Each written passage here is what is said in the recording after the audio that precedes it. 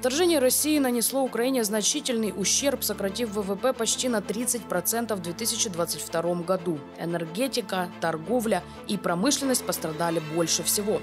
Убытки уже превышают 400 миллиардов долларов, и это оказывает серьезное влияние на жизни украинцев, особенно в прифронтовых городах и селах. Когда я в городе, то, конечно, цены высокие, невероятно. Я учусь в Тернополе, и для сравнения это, конечно, колоссальная разница. Потому что э, тут повышают цены на все, раза в два как минимум, и это слишком ну, сильно влияет на людей. И так, э, с учетом низких доходов, то это вообще космос. Мені доводиться від е, багато чого відмовлятися, бо ціни, вибачте, у півтори рази вищі, аніж в Дніпрі навіть. А якщо раніше я могла б купувати собі спокійно там тож молочну продукцію якусь і не звертати на це увагу, то зараз я вже змінюю і беру до уваги більш менш адекватні ціни, нижчі рівня, да, нижчої якості. От я не дуже можу дозволити собі купувати там той же сир, бо він коштує зараз близько 400 гривень. Цены на хлеб, который является базовым продуктом в рационе каждой семьи, поднялись еще в прошлом году и теперь составляют от 20 до 35 гривен за буханку. Чтобы сэкономить деньги, Татьяна начала печь хлеб сама. Но для этого ей также необходимы яйца, цена на которые побила все рекорды, вызывая множество шуток и мемов в интернете. Цены на мясо, колбасы и полуфабрикаты тоже значительно повысились. Навіть той чай, який я зазвичай вживала, е, я зараз не можу його собі дозволити. Хоча я працюю, хоча в мене достойна зарплатня, але, на жаль, я вимушена теж відмовлятися від багатьох речей. Последние, наверное, месяца два уже как продукты питания процентов, наверное, на 80 сократились, а хуже стали брать. Конечно, то, что люди беднее стали и все такое.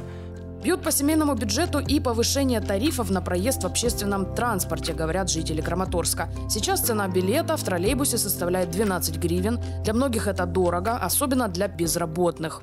Це недорого. Я не знаю, чи кожна людина може собі на сьогодні дозволити цей проїзд. Я розумію, що і паливо дорожче, і все, але не знаю. Мають бути якісь пільги для людей, які живуть в прифронтових містах або близько до фронту знаходяться. Щось має бути, якась реформа або ще щось. Якщо порівнювати е, ціну на громадський транспорт тут в Білій церкві, де ми зараз мешкаємо, зараз мешкаємо, е, чи і тут в Краматорську, я можу сказати, що, е, що 20 гривень за громадський транспорт це дуже багато. А в Білій церкві е, 8 стоїть е, тролейбус, коштує квіток, і 10 е, в громадському транспорту, там, де ас- автобуси. Жители Донецкой области страдают из-за роста цен и низких доходов, а также называют несправедливым то, что в соседних областях доступен весь спектр товаров, который недоступен для них. Но повлиять на это до окончания боевых действий крайне сложно. Знаете, стипендии – это лично там какие-то свои расходы. Понятное дело, что этого не хватит там на оплату коммунальных, допустим, э, еда. Но сейчас стипендия около 2000 гривен на месяц – это ну только еда. А есть же еще мимо такие расходы, как там одежда, лечение, еще что-то, э, досуг. Как бы, конечно, этого не хватает. Хотя сейчас и пенсии подняли, вроде люди уже довольны и на 500 гривен, и на пол- полторы тысячи гривен, да, довольны. Ну, не наблюдаю еще, чтобы оно добавилось нам в продуктовом магазине. Хоть, хоть чуть-чуть. 1 марта произошел перерасчет пенсий в связи с индексацией. Средний размер повышения составил чуть более 500 гривен, и теперь средняя пенсия составляет 6500 гривен. Кроме того, начиная с 1 апреля проводится перерасчет пенсий работающим пенсионерам, который будет начислен независимо от места нахождения получателя пенсии и социальных выплат.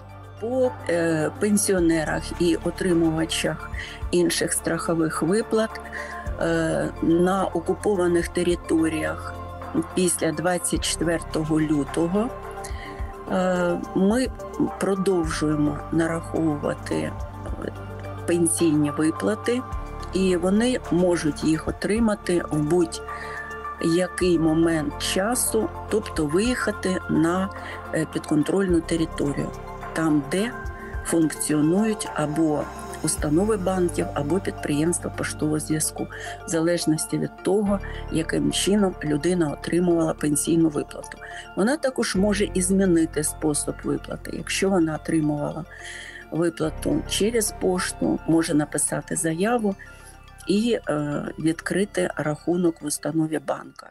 Несмотря на войну, пенсионный фонд выплачивает пенсии, страховые и социальные выплаты. В Донецкой области их получают около 900 тысяч человек, то есть почти миллион. Е, Ми, як переселенки, е, отримуємо 2-3 тисячі на дітей. Але якби не пенсія НКМЗ, нам дуже було б е, тяжко жити. Подруги мої, теж пенсіонерки, живуть дуже скрутно, дуже. Е, Ви ж знаєте, що пенсійний е, вік е, він обов'язків більше накладає на людину. Тому вони, пенсіонери, більш платять за комунальні услуги. І з трьох тисяч пенсій платити за свою квартиру, ще якось харчувати. Безработные могут обратиться в Центр занятости. При этом, даже если им пришлось уволиться в связи с военным положением, закон позволяет сохранить место работы и устроиться на другую. Початком війни великі та середні підприємства Краматорська призупинили переважно свою роботу, що позначається на пропонованих вакансіях. Найбільш затребувані у Краматорську це е, медичні працівники, працівники банківської сфери, сфери обслуговування, це продавці, листоноші, консультанти, водії. Середній рівень заробітної плати на цих підприємствах складає 12 тисяч гривень. Центры занятости компенсируют работодателям единый социальный взнос, полную либо частичную оплату труда за нанятых сотрудников с инвалидностью. Зарегистрированные безработные могут быть привлечены к общественным работам и получать от тысячи до шести с половиной тысяч гривен. В таких хабах, как наш Краматорск или Я Мариуполь, также предоставляют помощь с подбором работы для тех, кто находится за пределами региона. На сьогодні кожен зареєстрований безробітний може підвищити свою кваліфікацію або отримати нову актуальну на ринку праці професію в центрах професійно-технічної освіти Державної служби зайнятості. Для осіб, які не зареєстровані в службі зайнятості, ми можемо запропонувати отримати ваучер на навчання або підтвердити результати неформального навчання. Всю подробную информацию можно найти на порталах профильных служб и в отделениях, или же позвонить на горячие линии.